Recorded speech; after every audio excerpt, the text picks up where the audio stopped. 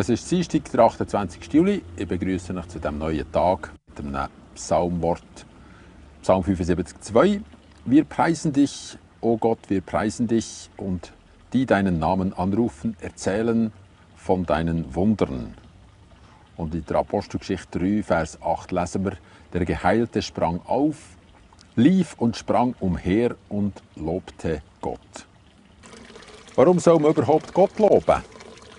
Eine echte Frage, für die Leute fast eine existenzielle Frage. Etwas wehrt sich in ihnen, das ist das grosse, monströse Ego im Himmel oben, wo wie ein Staubsauger allen Staub, hauptsächlich der oder Goldigstaub, das Beste, was die Menschen noch geben können, absaugt zu sich den Himmel rauf, während wir hier auf der Erde nicht so raumsüchtig sein Das kann doch nicht aufgehen.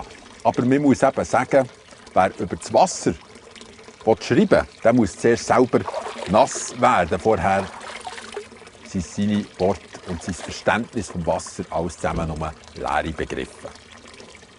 Leider, und da muss ich ehrlich sein und ich muss auch selbstkritisch sein, leider haben viele Leute Gott müssen loben.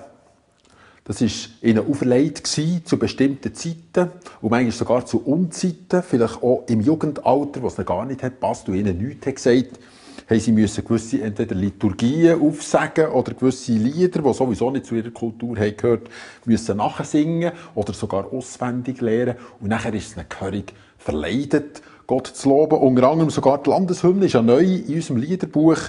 Über die sieht man jetzt eine schöne Reklame zu einem Fleischspitz im Hinblick auf den 1. August. Und da muss man sagen, eigentlich ist es grauenhaft, wenn eine Firma etwas so macht trittst im Morgenrot daher, sehe ich, dich im Strahlenmeer, dann kommt ein bisschen Fleisch. Aber man muss sagen, man kann es eben auch nachvollziehen. Irgendwo hat man ein Verständnis dafür. All die Leute, die Gott haben müssen loben, haben nicht einen wirklichen Bezug zu was sie da machen. Über das Wasser kann man nicht schreiben, wenn man nicht selber nass geworden ist.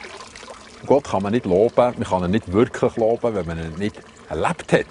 Das ist eine ganz eine grundwichtige Aussage. Menschen, die ein Wunder erlebt haben, die quasi eingetaucht sind in diesem Ozean, in diesem Meer von Wunder, das Gott tut.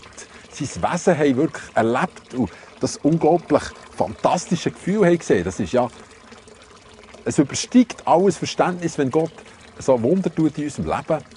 Die danken ganz spontan.